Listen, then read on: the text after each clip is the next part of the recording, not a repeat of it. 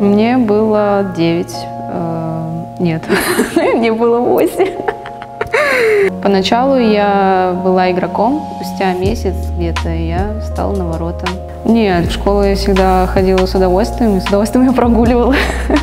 Я помню, на физкультуре мы, э, мы не на лыжах катались, как обычно в школе, а нас водили на коробку кататься на коньках. Хоккеистка, интересная.